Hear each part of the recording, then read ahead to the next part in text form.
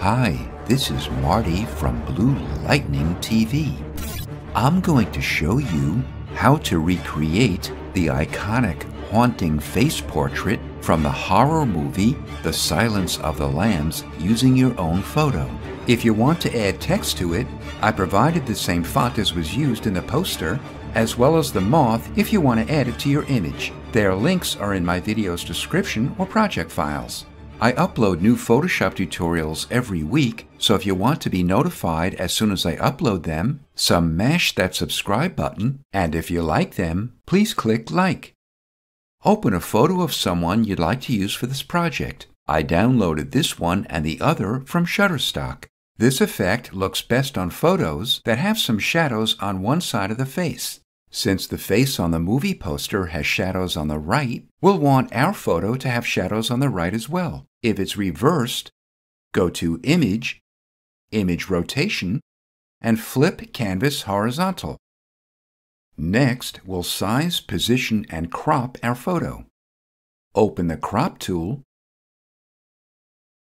and the list of crop presets. Click Width, Height, and Resolution, and Clear, which clears out the amounts. For its resolution, type in 72 pixels per inch, and for its height, type in 1400 pixels, which is the resolution and approximate height I'm using for this project. If you want a higher resolution, you'll need to increase the filter setting amounts accordingly. Drag the crop handles in or out until the face is cropped below the chin and halfway up the forehead. Make sure the face is centered. Then click Enter or Return twice. To fit it onto your canvas, press Ctrl or Command 0. We'll convert our subject into a smart object so we can modify it non-destructively, as well as replace it with a different face without having to redo the effects. To do this, click the icon at the upper right of the Layers panel and click Convert to Smart Object. Go to Filter, Blur, and Surface Blur. Basically, Surface Blur blurs an image while preserving its edges. Make the radius 35 pixels and the threshold 15 levels. Go to Filter, Noise, and add noise. Make the amount 15% and tick Uniform. Click the adjustment layer icon and click Color Lookup. Click Load 3D LUT. LUT is an acronym for a lookup table. Click Bleach Bypass.look. Open the Adjustments panel. If you don't see it, go to Window and Adjustments. Click the Gradient Map icon. Click the Gradient bar to open the Gradient Editor. Click the left stop and the color box to open the color picker. Pick black and click OK. For its location, type in 60. Click the right stop, the color box, and in the hexadecimal field, type in 00050B.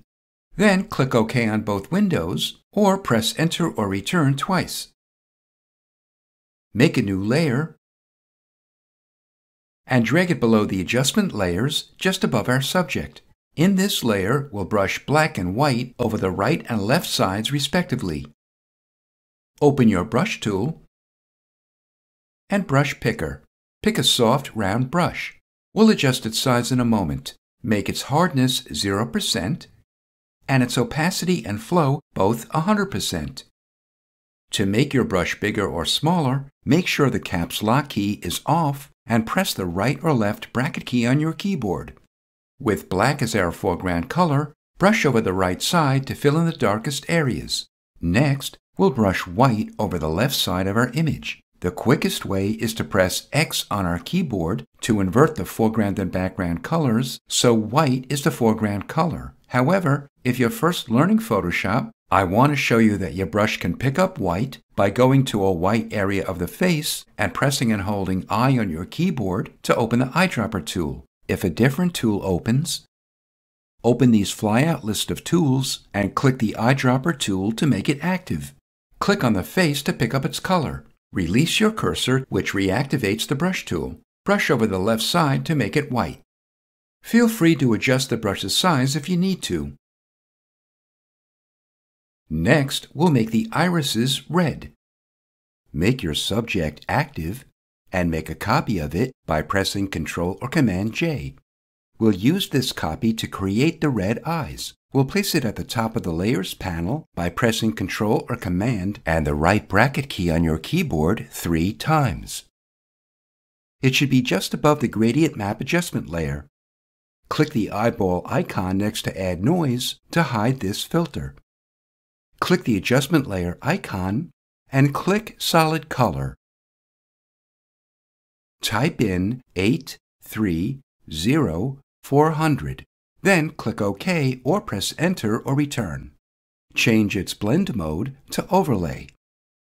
If your subject has dark irises, as in this example, we'll need to brighten them. If your subject has light-colored eyes, it won't be necessary to add the next filter. Make your subject copy active and go to Image, Adjustments, and Shadows Highlights. This filter brings out details in the shadows of our images by brightening those tones. I'll keep the default shadows amount 35%. Make the adjustment layer active and make another adjustment layer above it. Click Levels.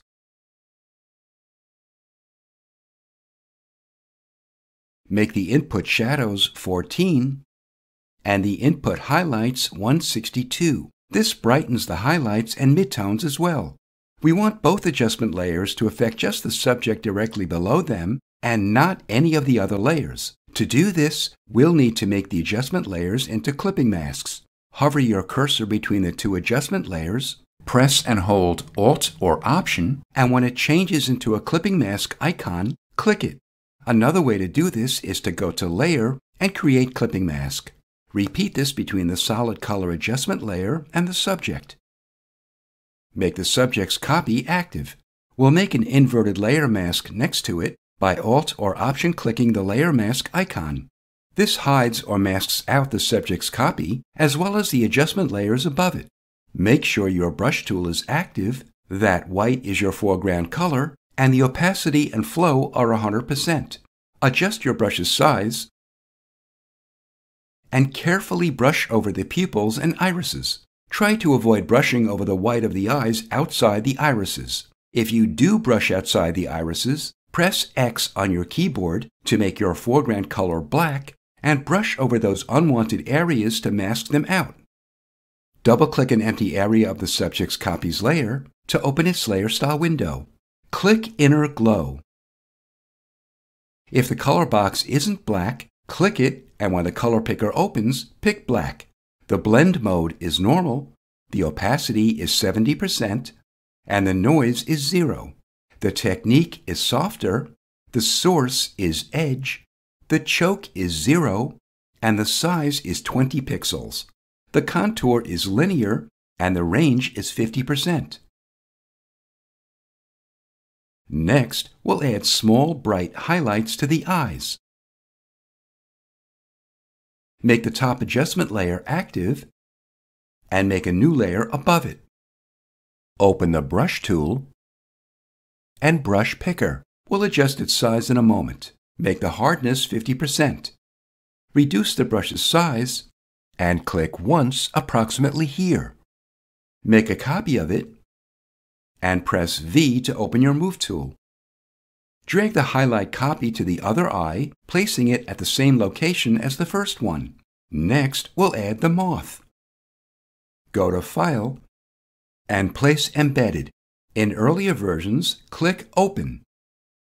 Find and click the moth image I provided and click Place or Open. Place Embedded automatically opens it with the Transform tool. On earlier versions, press Ctrl or Command T to open the Transform tool.